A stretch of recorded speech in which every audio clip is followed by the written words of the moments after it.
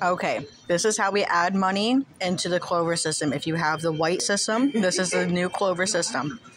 So what you're going to do is you're going to go to your three dots, add cash drawer. You're going to click add cash, and then whatever you're adding. So we're going to add in pennies to our system. All of our money is marked with a number. So you're going to enter in the amount of what you're adding.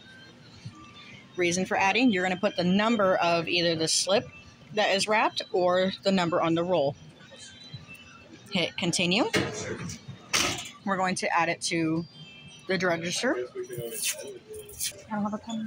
You're going to come to your money book. You need to find the one tab for your pennies. You're going to find that number and you're going to date, time, and initial, or sign it out actually. And make sure that you're marking off that you did put that on the paperwork because you'll grab your daily paperwork as well and you're going to add it to the money added. And that's how you add money to